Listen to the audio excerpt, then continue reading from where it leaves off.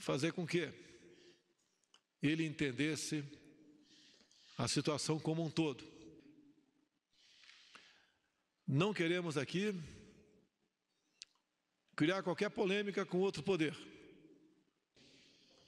Pessoal, boa tarde. Não condeno, não recrimino e não critico o ministro Mandetta. Ele fez aquilo que, como médico, ele achava que devia fazer. Que a vida não tem preço, mas a economia, o emprego, tem que voltar à normalidade. Não o mais rápido possível, conversado com o doutor Nelson. Mas ele tem que começar a ser flexibilizado.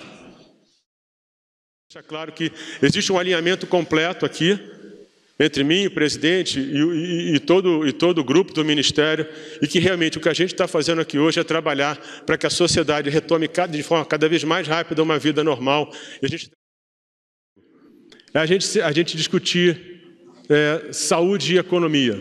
Isso é muito ruim, porque na verdade essas coisas não são, elas não competem entre si. Elas são completamente complementares.